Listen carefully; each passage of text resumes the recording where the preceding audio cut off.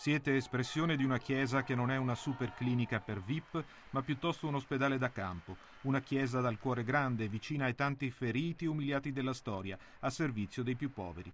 Così Papa Francesco ha salutato gli 8.000 volontari, medici e aspiranti medici del QAM, Medici con l'Africa, la prima e più grande ONG italiana per la tutela della salute delle popolazioni africane. Nata a Padova nel 1950, oggi il QAM è presente in sette paesi dell'Africa subsahariana, dal Sud Sudan alla Sierra Leone, dove il diritto alla salute è ancora un privilegio per pochi, ha ricordato il Papa, quelli che possono permettersela.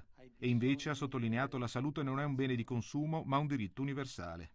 Avete scelto i paesi più poveri dell'Africa, quelli subsahariani e le aree più dimenticate l'ultimo miglio dei sistemi sanitari.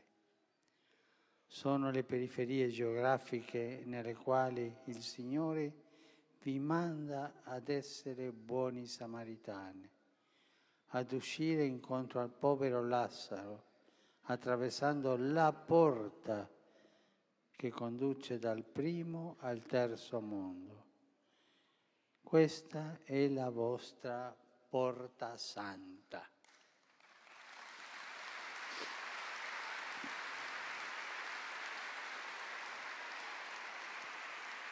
Voi operate tra le fasce più vulnerabili della popolazione, le mamme, per assicurare loro un parto sicuro e dignitoso e i bambini, specie neonati.